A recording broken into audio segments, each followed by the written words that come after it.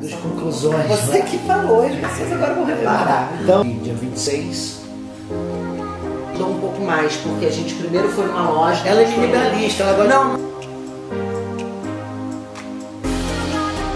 Não foram duas horas, tá bom, foram três horas. só um minutinho. Antes da gente começar.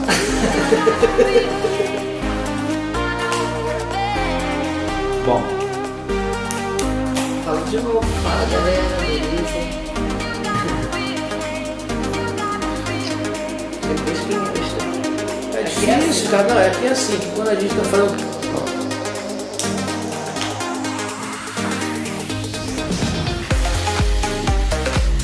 A DDR. Bom, é... vai lá aí pessoal, Paulo Campos. Sassá, A gente está agora fazendo aqui um vídeo referente à nossa passagem por Caraíva. Os nossos pontos positivos e negativos e contra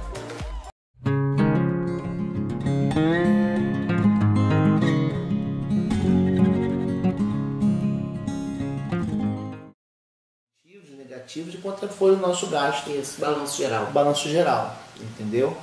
Bom, a gente saiu é, do dia, no dia 26 do Campo do Siri, né, do, do camping não, né, do, do acampamento de concentração do Campo do Siri, do campo de concentração do Campo do Siri, e fomos para Caraíva. A gente encontrou lá com mais um- uns carros lá e fomos até Bahia, Bahia. Foi uma viagem muito cansativa e muito tumultuada. Muito tumultuada. A gente levou 17 horas de viagem. 17 horas de viagem. 10 horas, a, 7 horas a mais do que a gente fez na volta. Por média, na volta de Caraíva para o campo do Siri, nós levamos 10 horas. Então, se nós levamos 7 horas a mais. Foi muito tumultuado. A gente foi até o Ricardo que estava no Ibis Vitória. E o Ricardo pegou o carro dele, o carro dele começou a dar problema, né? É, por alguma situação. Nós fomos atrás de um lugar onde pudesse consertar os cardãs dele. Levamos aí uns 30, 40 minutos para andar 50 quilômetros de volta da onde, a gente tinha, da onde a gente tinha vindo. Esperamos mais umas uma hora e meia. Ah, ficamos, não, foi mais. Umas duas horas? umas duas horas Então- e pouca lá esperando. Duas horas e pouco. Vamos botar aí. É, nós gastamos do camping do Siri até o hotel três horas mais ou menos. Nós saímos de lá seis horas, era nove e quinze, estava chegando lá. E depois nós fomos para mais uma hora, uma hora e 40, 40 minutos para chegar no lugar onde vai fazer, foi consertar o cardan. Né? Ficamos duas horas e depois a gente pegou a estrada. Então nessa brincadeira foram sete horas a mais, eu estava realmente cansado. Foi complicado, entendeu? E nós tivemos lá uma outra situação com outro carro, com uma outra lente que deu problema lá também. E o Ricardo acabou tendo que parar um pouco para ajudar o rapaz no meio do caminho.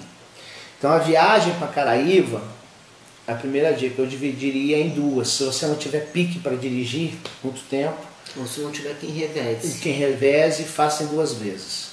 Tá? Ou seja, de Marataízes a, a, a Caraíva. a Caraíva é uma estrada, principalmente à noite. Principalmente porque o final da estrada, É horrível. é, a, parte, a parte final, quando já entra é, na Bahia, no sul da A Bahia. BR-284, se eu não me engano, que você entra, você sai da BR-101 e cai para. Isso. Ou é, é o 283, eu acho. 283, 284, não importa. Isso. É, são Enfim, 45 quilômetros que você é. faz em 3 horas e meia. 45 quilômetros em 3 horas, quase 4 horas de costela de baiano. É, Quebra-mola enorme, poeira, um troço É. estranho. É, é assim, a gente fez essa parte a primeira vez à noite numa estrada que a gente não conhecia.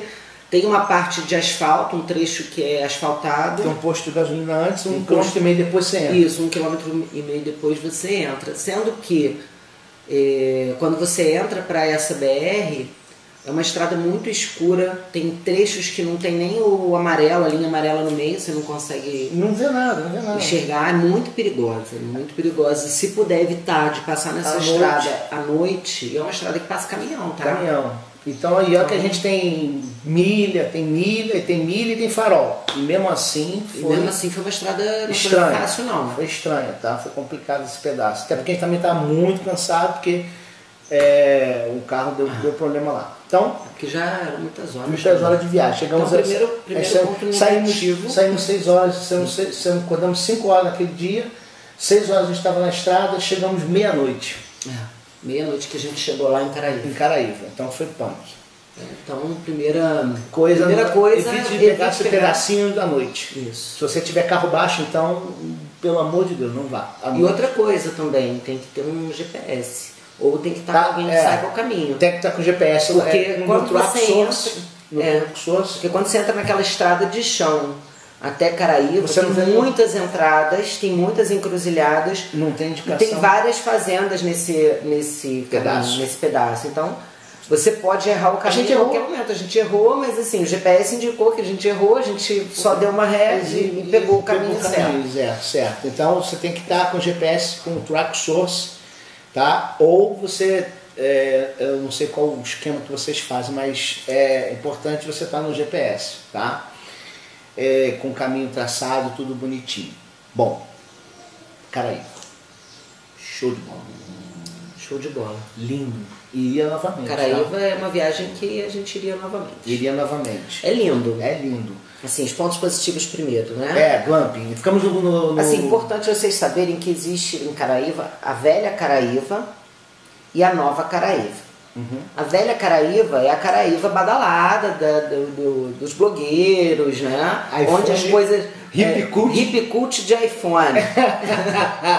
Onde tem a galera. Foi o Roberto lá que deu essa dica. Tem muito hip cult de iPhone É, lá. a entendeu? galera que já tá tudo descolada, né? A galera descolada que se veste super bem. bem. Gente bonita, bem. Muita gente bonita.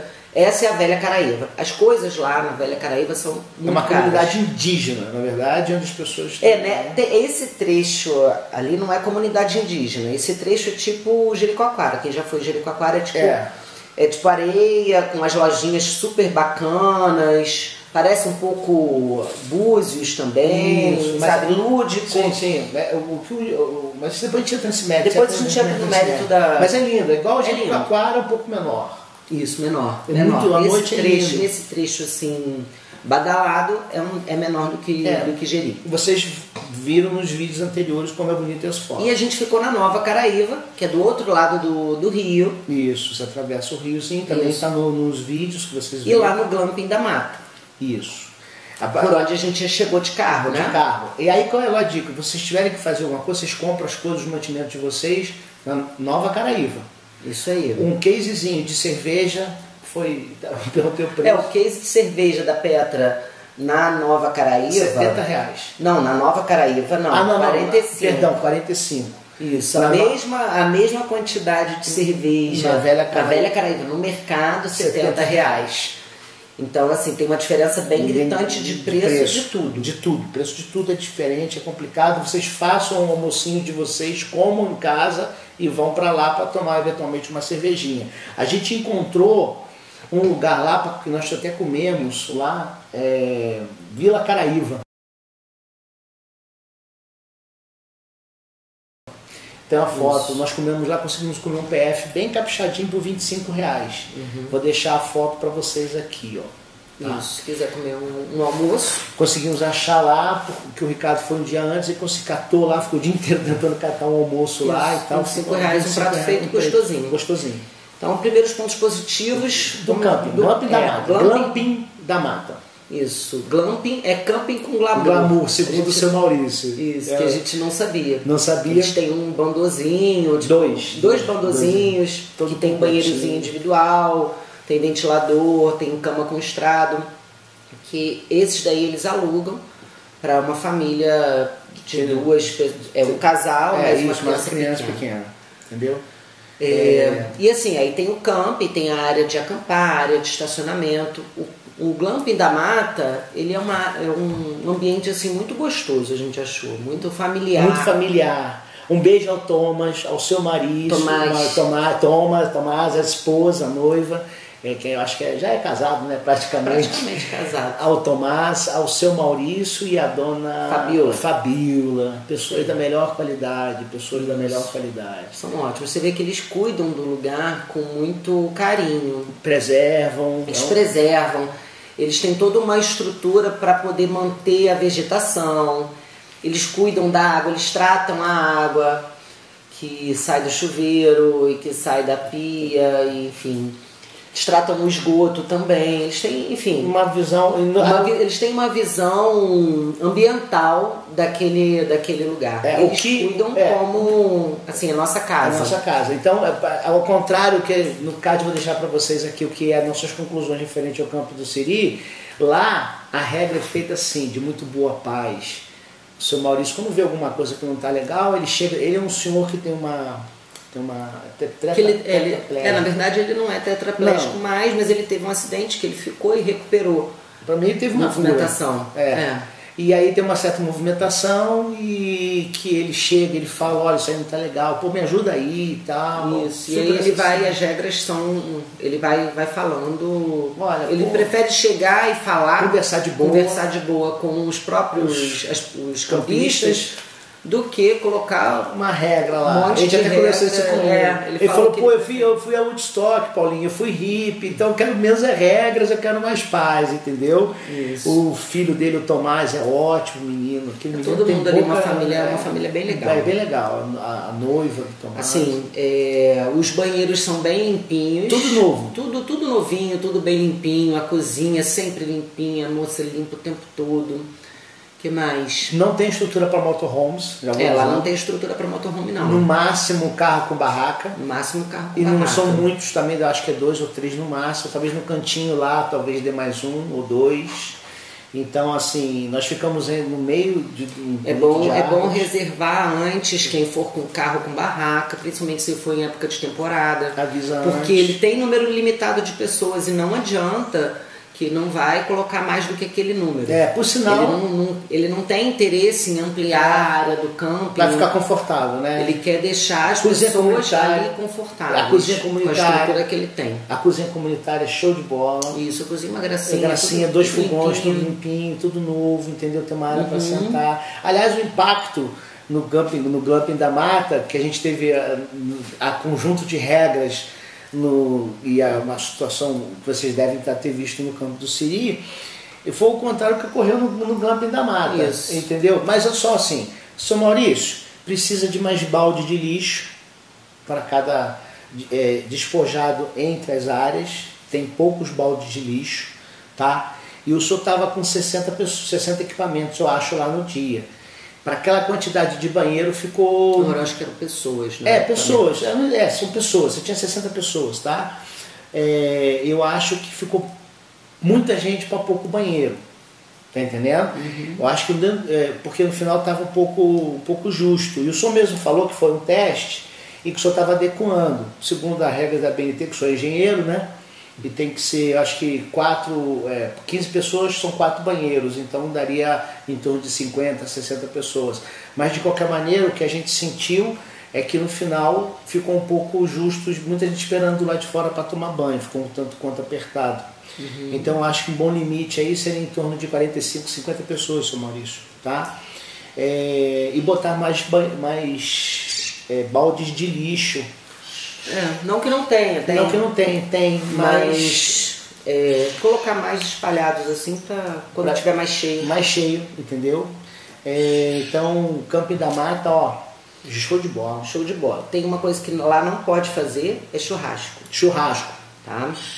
Sem problemas, não tem problema, mas é bom vocês saberem disso, não pode churrasco porque tem muita coisa inflamável. Tem algumas árvores, tem algumas então, coisas. Eles preservam Ele achou uma regra é, que é a única coisa que ele bota. Que faz sentido e ele fala, gente, não faz porque tem muita coisa inflamável e realmente é, tem, tem isso. muita folha, muita coisa, coisa assim no chão, é folha que cai de árvore, isso. que também é inflamável, então ele acha melhor não fazer. É, ele gosta de acomodar as pessoas, ele chega, olha, pode botar aqui, pode botar barraca aqui e tal, ele gosta de acomodar as pessoas, isso. gosta de ver as pessoas confortáveis.